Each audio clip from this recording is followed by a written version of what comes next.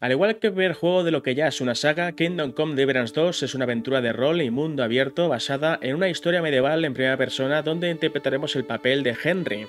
un joven campesino que ya durante el primer juego pues tuvo que abrirse paso en la bohemia de principios del siglo XV, solventando y afrontando problemas menores de la nobleza del lugar. Y pese a que es una secuela del primer título, según Warhorse Studios, aquellos que lleguen a Kingdom Come Deliverance 2 de primeras o nuevos lo disfrutarán de igual, manera o perfectamente, sin necesidad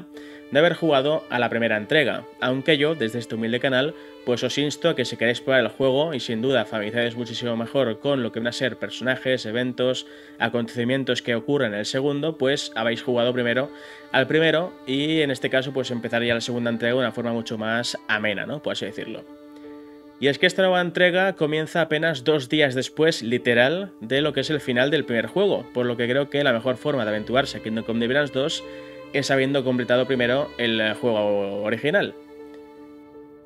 Para aquellos que no conozcan la historia pasada de este canal en relación a Kingdom Come Deliverance, este juego marcó mucho la trayectoria del mismo y de hecho lo considero uno de mis juegos favoritos y aunque esto no signifique que el juego es perfecto o sea perfecto, ni de, ni de lejos, de hecho creo que no es un juego para todo el mundo, es decir, que si habéis, si aquellos que estéis viendo este vídeo os habéis llegado a quejar de Dragon's Dogma 2 por según vosotros ser demasiado antiguo o por tener mecánicas antiguas o lo que sea, pues puede que Kingdom Come Deliverance 2 os vaya a petar la cabeza, os voy avisando ya de tiempo, con tiempo, con antelación, pero sin duda es uno de los juegos más realistas y cuyo nivel de inmersión roza la perfección, y os lo digo totalmente en serio, ¿eh? es de los juegos más inmersivos que he jugado yo en mi vida. Podéis esperar una brutal banda sonora, paisajes que te quiten el hipo, una grandiosa narración cinematográfica, un combate realista y exigente, una ambientación peligrosamente realista y muchísimo más. Tanto Henry como Hans regresarán triunfantes en esta nueva entrega y tras encarnar el destino de Henry en el primer juego y ver con nuestros propios ojos cómo apenas pudo sobrevivir a la aniquilación de su aldea y de cómo luego emprende esa aventura repleta de acción y venganza convirtiéndose en el fiel escudero de amigo de Hans eh, y demás, pues podemos esperar que sus vínculos sean aún más fortalecidos, al igual que los vínculos que tiene Henry con otra índole, con ciertas personalidades que aparecen durante el juego, eh, que seguramente pues ya sabéis todos por dónde van los tiros y por dónde y qué me estoy refiriendo, ¿no? Amiga de Teresa, etcétera, bueno, ya sabéis. Esta nueva aventura tendrá lugar en su mayoría de ocasiones en la ciudad de Gutenberg, que es una gran ciudad mencionada en cuantas ocasiones en el juego original, pero que hasta ahora no habíamos visto nunca en el juego. Y además de ella, nos espera un montón de nuevas localizaciones, que de hecho, según Warhorse, el mapa de Kingdom Come Deliverance 2 será dos veces más grande que el mapa del primer juego, por lo que sin duda podemos esperar muchas horas de vicio por delante especialmente sabiendo que son juegos en los que muchas veces los jugadores optarán por no realizar viajes rápidos, constantes y donde poder disfrutar de esta manera de viajes de a caballo con un montón de actividades y misiones que completar y disfrutar a fin de cuentas del entorno tan inmersivo que han logrado hacer ya en el primer juego y que seguramente consigan lograr eh, replicar en esta segunda entrega. Y que seguro pues van a igualar o incluso la van a, superar, porque no, eh, soñar es gratis, ¿no? Pero por si fuera poco, los amigos de Warhorse Studios han dicho y han prometido que será un mundo repleto de secretos, por lo que mi vena aventurera y de explorador crece sin medida al ver y pronunciar dichas palabras.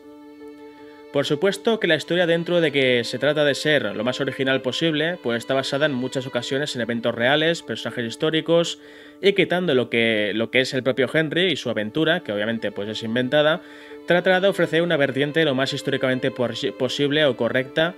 y eh, de lo que en verdad busca el juego, que es a fin de cuentas pues ofrecer una oportunidad de saber cómo se sentiría uno mismo eh, al tener la oportunidad de vivir en una bohemia, una hipotética bohemia de principios del siglo XV y todo lo que ello supone. Ahí reside un poco el principal, la principal fortaleza, ¿no? el principal, la principal baza de lo que viene a ser el juego, en mi opinión.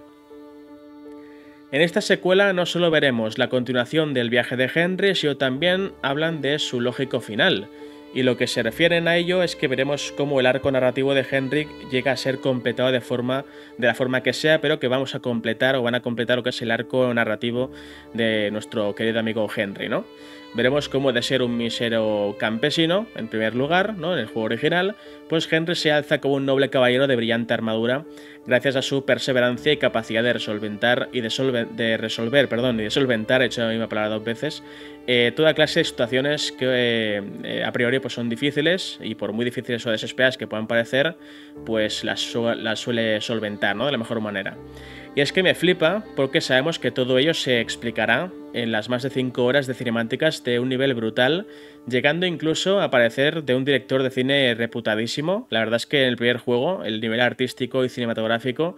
me pareció ya de locos. imagínate o imaginábamos o imaginemos que en esta nueva entrega pues eh, ese nivel vaya a ser incluso superior, ¿no? Lo cual va a ser de locos, sin duda alguna. Como decíamos antes, mientras que en el juego original la narrativa se centraba en problemas de una índole algo más eh, desapercibida, algo más normalita, podríamos llegar a decir, con problemas de nobles random de bajo nivel, por así decirlo, en este nuevo juego trataremos con problemas de los mismísimos reyes y caballeros, lo cual se espera cuanto menos un aumento en esa escala de epicidad y por supuesto de, de escala, ¿no? una mayor escala en general de los acontecimientos que vayamos a ver y vivir en el juego. En cuanto al combate, tiene toda la pinta de que nos espera una versión algo más pulida y perfeccionada que la del combate del juego original, así que podemos esperar ese estilo de combate direccional con combos, ejecuciones y intercambio de golpes que deberemos memorizar para saber lo mejor, eh, de la mejor forma posible, pues cómo contrarrestarlos, ¿no? Lo más importante es que a diferencia de otros juegos, en este Kingdom Come Deliverance 2 deberemos practicar para verdaderamente notar una mejoría en nuestras habilidades de combate, puesta que es exigente de cojones y espero que aprovechen la ocasión para pulirlo un poco más porque sí que es final, al final es verdad que el juego original tenía algún problemilla en cuanto al combate, se veía un poco, eh, un poco trastabillado, ¿vale? Por así decirlo. Y en este caso creo que va a ser una buena oportunidad para pulirlo todavía aún más y que sea todavía mejor, ¿no? Que sea más inmersivo, más disfrutable, que a fin de cuentas, como digo, es una de las experiencias mucho de las más completas que he visto yo en un juego en mi vida, básicamente, ¿no? De hecho, para mí Kingdom Come Deliverance tiene el combate más realista de la historia de los videojuegos. Quizá rivalizado hasta ahora con Hell Squad, que es un juego que por ahí también tiene su, cosilla, ¿no? Por decir alguno que más o menos se le acerque. Eh, pero aún así creo que es el mejor, ¿no? Y así espero también que en Kingdom Come Deliverance 2 pues la cosa vaya aún más allá y tengamos una experiencia brutal de combate realista, lo más importante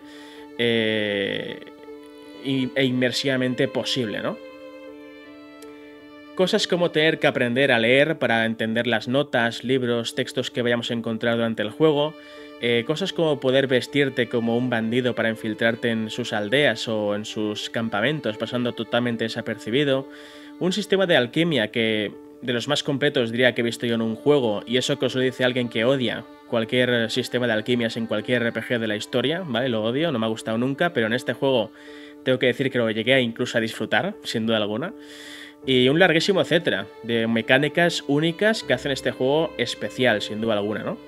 Que ya hicieron el primer el juego, el primer título lo hicieron especial y diferente, algo diferente, ¿no? Que ya era como un aire, una bocanada de aire fresco que tuvo la, lo que es la industria de los RPGs en concreto, de este género de videojuegos.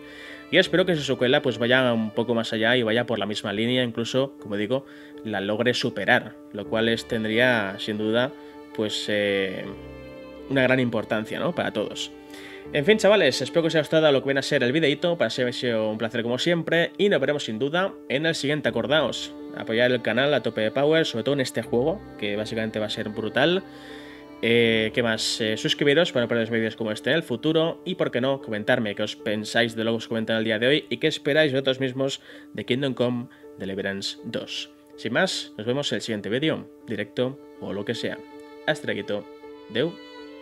Deu, deu, chavales.